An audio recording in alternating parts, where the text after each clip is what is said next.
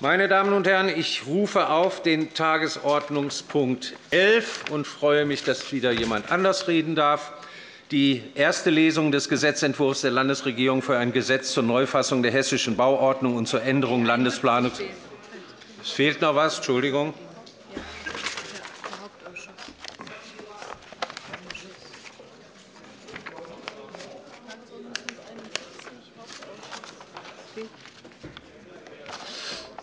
Warum habt ihr das so geheftet?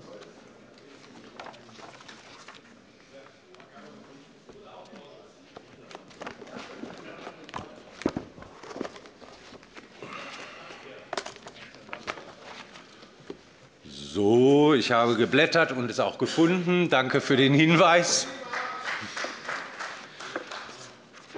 Also rufe ich auf den Tagesordnungspunkt 71, Nachwahl eines stellvertretenden Mitglieds im Hauptausschuss. Mit Ablauf des 31. Oktober 2017 hat Herr Hans-Jürgen Irmer auf sein Mandat als Abgeordneter des Hessischen Landtags verzichtet. Somit scheidet er als stellvertretendes Mitglied aus dem Hauptausschuss aus. Nach § 6 Abs. 2 unserer Geschäftsordnung werden die ordentlichen sowie alle stellvertretenden Mitglieder des Hauptausschusses durch den Hessischen Landtag gewählt.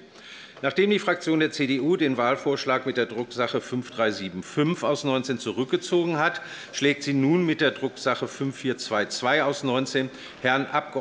Heiko Kasseckert als stellvertretendes Mitglied vor. Wieder widerspricht niemand der Wahl durch Handzeichen. Deswegen bitte ich darum, wer dem Wahlvorschlag zustimmt, um das Handzeichen. Das ist das gesamte Haus. Damit stelle ich fest, dass Herr Abg. Heiko Kasseckert als stellvertretendes Mitglied im Hauptausschuss gewählt wurde. Ich entschuldige mich noch einmal, dass ich den Tagesordnungspunkt 71 erst einmal übersehen habe.